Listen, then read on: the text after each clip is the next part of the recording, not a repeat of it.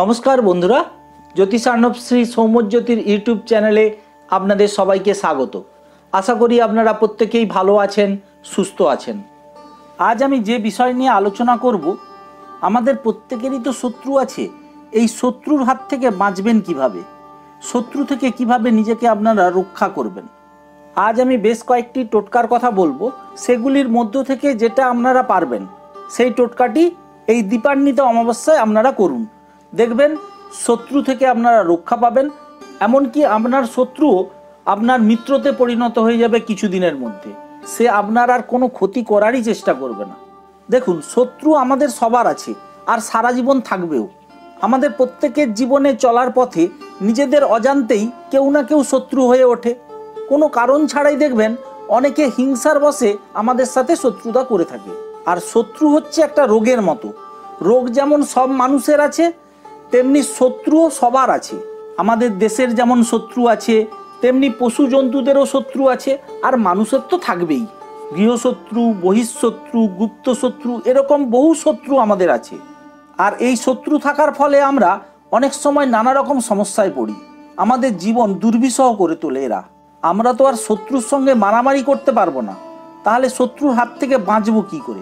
অনেক সময় আবার আমাদের এমন শত্রু আছে যারা আমাদের উপর বিভিন্ন ধরনের খারাপ কাজ, টুকটাক করে থাকে, এ থেকে আমরা নিজেকে রক্ষা করব কি করে? আমরা তো সবসময় চাইব কারুর ক্ষতি কিছু না করে নিজেকে কীভাবে ঠিক রাখব।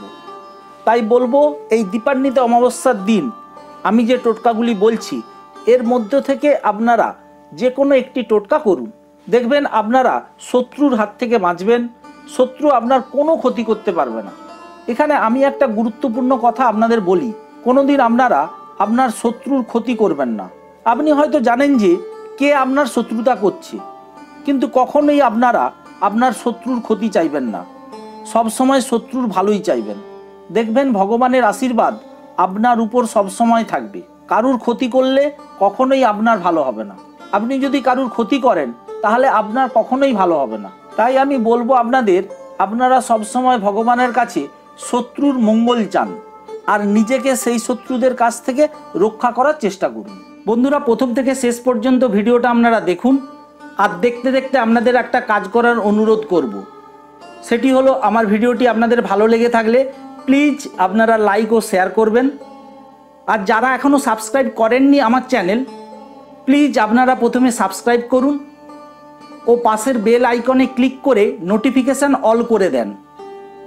তাহলে কি হবে? আমি আমার চ্যানেলে যখনই নতুন কিছু ভিডিও আপলোড করব, সঙ্গে সঙ্গে তার নোটিফিকেশান আপনারা পেয়ে যাবেন। এবছর এই দু সালে দীপান্বিত অমাবস্যা পড়েছে, চৌঠা নভেম্বর বৃহস্পতিবার দিন। আর অমাবস্যা তিথি থাকছে ওই দিন, রাত্রি তিনটা তেইশ মিনিট পর্যন্ত। এই শত্রুর হাত থেকে বাঁচার জন্য ও নিজেকে রক্ষা করার জন্য এই দীপান্বিত অমাবস্যার দিন আপনাদের প্রথমেই একটি টোটকার কথা আমি বলি। আর এই টোটকাটি করতে হলে আপনাকে প্রথমেই কয়েকটা জিনিস জোগাড় করে নিতে হবে। অল্প পরিমাণ কালো সর্ষে, অল্প পরিমাণ কালো তিল, অল্প নিম গাছের পাতা ও একটি মাটির সরা ও এক টুকরো কালো কাপড়। এবার এই দীপান্বিত অমাবস্যার দিন রাত্রিতে আপনারা শুদ্ধ কাপড়ে ঠাকুরের সামনে বসবেন পূর্ব দিকে মুখ করে। তারপর প্রদীপ, মোমবাতি ও ধূপ জ্বালাবেন ঠাকুরের সামনে। এবার আপনারা যে মাটির সরাটি নিয়েছেন তাতে কালো তিল, কালো সর্ষে ও নিম পাতাগুলো সব দিয়ে দেবেন। এবার একটি সাদা কাগজে কালো কালিতে আপনারা যদি শত্রুর নাম জানেন, তাহলে শত্রুর নাম লিখবেন। আর শত্রুর নাম যদি না জানেন, ধরুন কারা শত্রুতা করছে, আপনি বুঝতে পারছেন না। তাহলে লিখবেন, আমার সমস্ত শত্রুগণ। আবার বলছি, আমার সমস্ত শত্রুগণ। এই বলে লিখে ওই কালো কালিতে লেখা সহ সাদা কাগজটি ওই মাটির সরার মধ্যে দিয়ে দেবেন। এবার কর্পূর দিয়ে ওই সরার মধ্যে থাকা কালো সর্ষে, কালো তিল, নিম পাতা আর এই যে কাগজের টুকরোটি, এই সমস্ত জিনিসগুলিকে আপনারা একসঙ্গে পুড়িয়ে দিন। তাহলে সমস্ত কিছু কি হয়ে গেল? ছাই হয়ে গেল। এবার অমাবস্যার পরের দিন, অর্থাৎ শুক্রবার দিন আপনারা এই ছাইকে একটা কালো কাপড়ে পুল্লি আকারে বেঁধে বাড়ি থেকে একটু দূরে গিয়ে মাটির নিচে পুঁতে দিন। তা যদি না পারেন তাহলে যে কোনো গাছের তলায় এটা রেখে দিয়ে আসবেন। তবে অবশ্যই বাড়ি থেকে দূরে। এবার আপনারা ভালো করে পা হাত ধুয়ে বাড়িতে প্রবেশ করবেন। আপনারা যদি এই টোটকাটি করেন, দেখবেন আপনারা শত্রুর হাত থেকে রক্ষা পাবেন আর আপনার শত্রুও মিত্রতে পরিণত হয়ে যাবে। শত্রু আপনার কোনো ক্ষতি করতে পারবে না। এবার যে টোটকাটির কথা আপনাদেরকে আমি বলব, এই দীপান্বিত অমাবস্যার দিন তারাই করুন, যাদের প্রচুর শত্রু। চারিদিক থেকে শত্রু ঘিরে ধরেছে। কিছুই করতে পারছেন না। আপনারা এই টোটকাটি করুন। এই দীপান্বিত অমাবস্যার দিন রাত্রি আটটার পর এই টোটকাটি করতে হবে। প্রথমে আপনারা একটা মাটির বড় সরা নিন। তাতে শুকনো নারকেল ছিবড়া ও অল্প পরিমাণ নিম পাতা রেখে দিন। আর একটি ছোট্ট বাটি নিন। তাতে একশো আটটি কালো মাসকলাইয়ের ডাল গুনে গুনে তাতে রাখুন। তবে আপনাকে মাসকলাইটি নিতে হবে কালো রঙের। সবুজ রঙের নিলে কিন্তু হবে না। এবার আপনারা কি করবেন? দক্ষিণ দিকে মুখ করে বসবেন কালো আসনের উপর। এবার ওই মাটির বড় সরাতে, যেখানে ওই যে নারকেল ছিবড়া নিম পাতা আছে, তাকে কর্পূর দিয়ে জ্বালিয়ে দিন। এবার একটি করে মাসকলাই ওই জ্বলন্ত নারকেল ছিবড়ার উপর দিন। আর বলুন, ওং ভৈরাবায় নম। এই মন্ত্রটি পাঠ করতে করতে একশো আটটি মাসকলাই ওই জ্বলন্ত নারকেল ছিবড়া ও নিম পাতার উপর আপনারা দেবেন। আর মনে মনে প্রার্থনা করবেন মায়ের কাছে, মা, আমার সর্বশত্রু নাশ করো। মন্ত্রটি আমি আবার একবার বলছি, একদম ছোট্ট মন্ত্র। ওং ভৈরবায় নম। এবার পরের দিন, অর্থাৎ শুক্রবার দিন, ওই সরা সমেত ছাইটি আপনারা বাড়ি থেকে দূরে কোথাও ফেলে দিয়ে আসতে পারেন, অথবা দূরে কোথাও কোনো গাছের তলায় আপনারা রেখে দিয়ে আসতে পারেন। এই সরাটি রেখে দেওয়ার পর আপনারা আর পেছন ফিরে তাকাবেন না। একদম সোজা বাড়িতে চলে আসবেন আর বাড়িতে ঢোকার আগে ভালো করে পা হাত ধুয়ে তারপর বাড়িতে ঢুকবেন। এই টোটকাটি আপনারা যদি করেন, দেখবেন মায়ের কৃপায় আপনার সর্বশত্রু নাশ হবে। কোনো ধরনের শত্রু আপনার কোনো ক্ষতি করতে পারবে না। ভক্তি ও বিশ্বাসের সহিত একবার করেই দেখুন না। আর এই টোটকাটি করার জন্য আপনাকে বিশেষ কোনো অর্থও খরচ করতে হবে না। এবার শত্রু থেকে রক্ষা পাওয়ার জন্য যে টোটকাটির কথা আমি আপনাদের বলব সেটি ঠিক টোটকা বললে ভুল হবে। এই ক্রিয়াটি অনেকটা তান্ত্রিক প্রয়োগের মতোই। তার আগে আপনাদের আমি বলি, অনেকে বলেন এইসব বুজরুকি। তারা বলেন, ভগবানের প্রতি অটুট ভক্তি ও বিশ্বাস রাখলে কারোর ক্ষমতা নেই যে আমার ক্ষতি করতে পারে।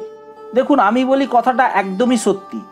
ভগবানের উপর বিশ্বাস সকলেরই কম বেশি আছে। আর ভগবানের প্রতি এই বিশ্বাস আমাদের শক্তি যোগায়।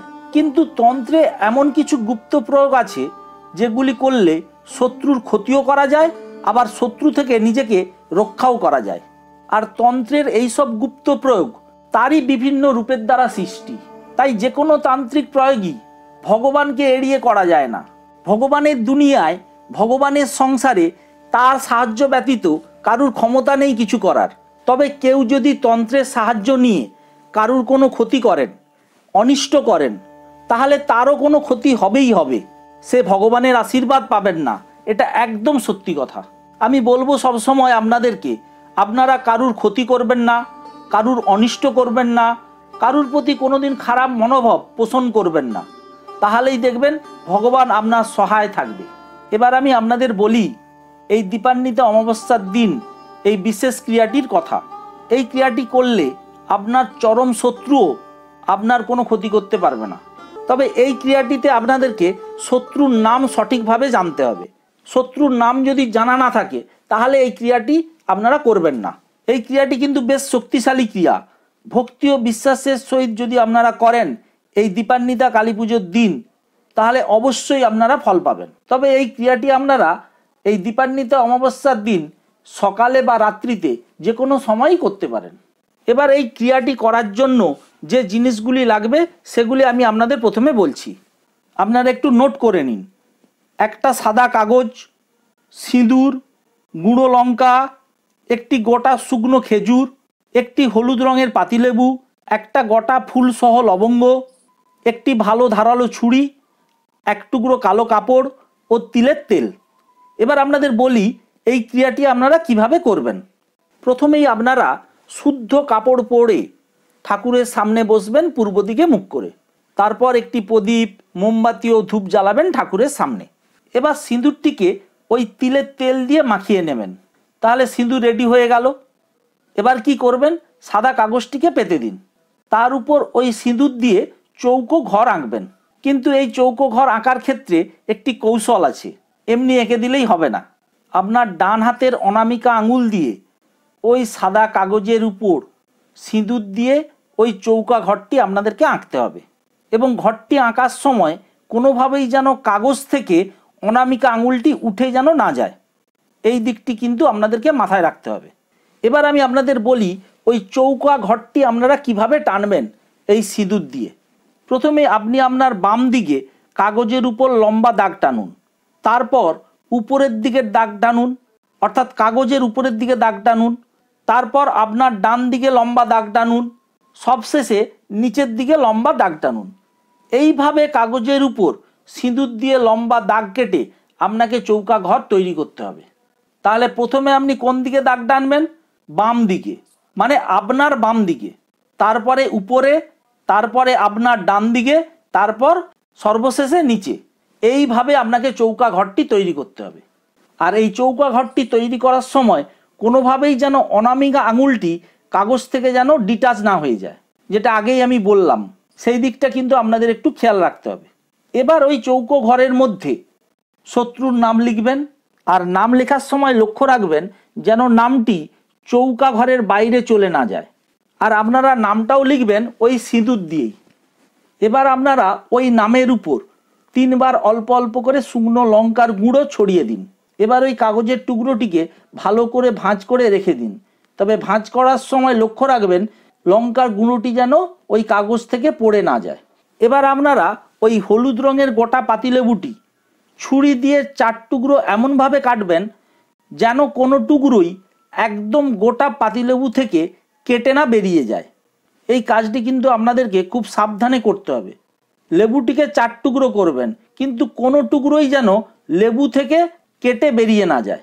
এবার ওই লেবুর টুকরোগুলোকে হালকা করে টেনে একটু ফাঁক করে দিন। এবার ওই লেবুর টুকরোর ভেতরে আপনারা অল্প গুঁড়ো লঙ্কা ছড়িয়ে দিন। তারপর লেবুটিকে চেপে আবার আগের মতো গোল করে দিন। আরেকটি কাজও আপনাদেরকে খুব সাবধানে করতে হবে। আমরা যে গোটা শুকনো খেজুর নিয়েছিলাম, সেই গোটা শুকনো খেজুর থেকে তার বিষটি বের করে নেবেন। এবার তার মধ্যে ফুলসহ গোটা লবঙ্গটি ঢুকিয়ে দেবেন। তাহলে আপনারা লঙ্কার গুঁড়ো ক জায়গায় দিলেন? দু জায়গায়। একটা হচ্ছে শত্রুর নামের উপর, আরেকটা হচ্ছে ওই চার টুকরো কাটা লেবুর ভেতরে। সবশেষে আপনারা কি করবেন? সবশেষে একটি কালো কাপড়ের টুকরো নেবেন। তাতে আপনারা কি কি রাখবেন? ওই যে লেখা শত্রুর নাম সহ কাগজটি, ওটা লেবুটি আর খেজুরটি। এই তিনটি জিনিস একসাথে মুড়ে পুল্লি আকারে গিন্ড বেঁধে দেবেন।